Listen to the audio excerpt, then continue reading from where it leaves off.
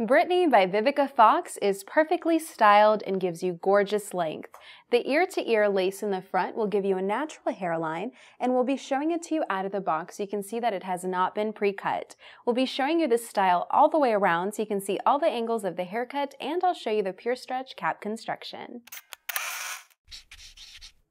The layers in the front measure 8 inches, so if you'd like to have your stylist cut a side bang into it, you can, or even a full bang.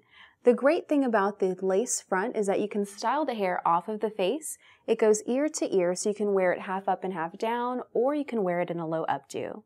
Once you cut the lace back, tape or adhesive is optional.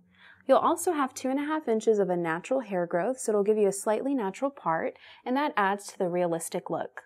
The layers around the face are feathered back and the curl is perfectly styled. The color here is P4 slash 30. With the P colors, you do see chunkier highlights and thicker strands of variation. The base is a medium dark brown, and the highlight is a medium auburn. The layers at the crown measure 11 inches, that's that shorter layer here. It gives you movement and nice fullness.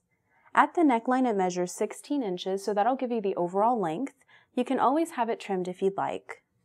I recommend using the Hair Tricks comb to detangle it and to keep it frizz-free.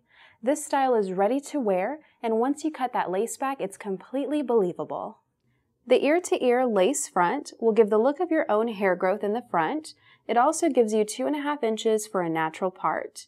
The rest of the top is a closed cap, so it's durable and helps maintain the style.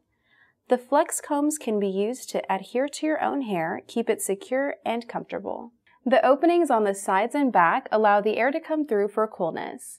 The Pure Stretch cap gives you a full stretch all the way around so it's comfortable and secure. You can adjust the cap size up to half an inch with the adjustable hook closures. Once you cut the lace back, tape or adhesive is optional. For glamorous, long waves, I recommend Britney by Vivica Fox. The ear-to-ear -ear lace truly completes the look.